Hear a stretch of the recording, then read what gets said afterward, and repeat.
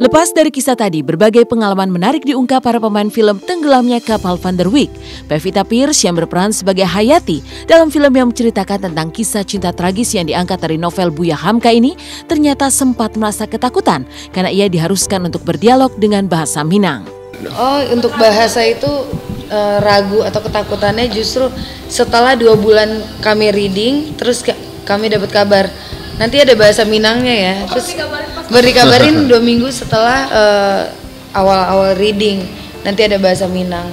Pertama sih respon saya sih cuma ketawa aja. Bercanda kan?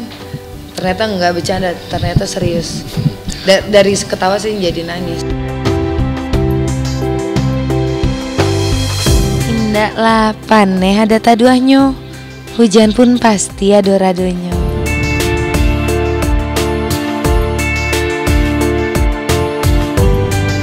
Meski sempat didera rasa ragu dan takut, hasil akting mereka luar biasa.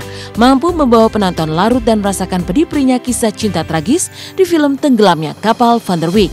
Inilah pengakuan sejumlah selebritis setelah menyaksikan premier film berlatar belakang keindahan Nusantara di tahun 1930-an tadi malam.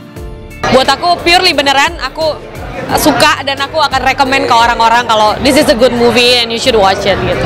Banyak banget yang ngalamin kayak begitu. Jadi ya benar-benar menyentuh hati loh kita cerita seperti ini.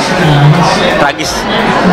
Sedih aja sih kisahnya. Mirsa Intens, jangan lupa nonton film Tenggelamnya Kapal Van der Wijk tanggal 19 Desember 2013 di bioskop-bioskop kesayangan Anda. Event Sepak Bola Akbar Indonesia dari delapan klub teratas Indonesia.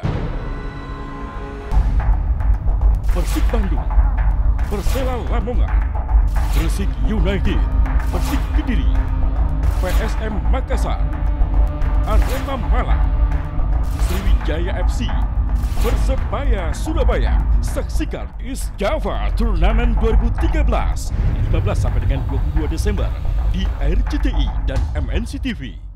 Satu dekade sudah, RCTI menggelar ajang pencarian bakat bergengsi Indonesian Idol. Sepuluh tahun sudah Indonesian Idol mewujudkan mimpi banyak orang dengan menghasilkan talenta-talenta istimewa.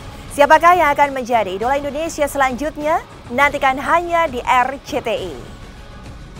Pemirsa dari Studio Silat, rekan saya Dona Arsinta akan hadir bersama Anda sesaat lagi. Silakan Dona.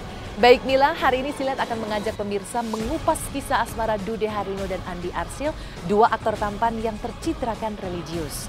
Lantas, apakah Alisa Subandono menjadi pelabuhan terakhir cinta Dude Harino? Bagaimana dengan pencarian cinta Andi Arsil? Lantas seperti apa pula kisah tujuh pria tampan dan seksi? Simak kisah selengkapnya hanya di Silet sesaat lagi. Nah pemirsa, kisah lengkapnya bisa Anda saksikan dalam Silet hari ini. Dan jangan lupa saksikan terus Inten setiap hari Senin sampai Jumat pukul 10.30 waktu Indonesia Barat. Sabtu Minggu pukul 11 waktu Indonesia Barat tentunya hanya di RCTI.